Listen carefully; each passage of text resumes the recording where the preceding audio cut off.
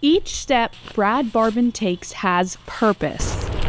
Five miles a day to keep his bones healthy. I don't ever want to be the guy that can't go anywhere. This wasn't always his mindset until 30 years ago. The doctor saying, you know, your bones aren't looking so good. Brad was shocked. He never thought he'd have to worry about osteoporosis at age 40. According to a new survey from the Ohio State University Wexner Medical Center, only 1% of men are concerned about bone density. It's a silent bone disease, um, and it's silent until it makes some noise, and how it makes noise is with a fracture. Dr. Paul Lewis, an interventional radiologist who treats osteoporosis at Ohio State, says these fractures can be deadly, but men can prevent osteoporosis. Over half of people surveyed know they need calcium and vitamin D, but only about 3 out of 10 people know that low impact exercise and weightlifting are critical. Do you know if you don't participate uh, as an adult in resistive training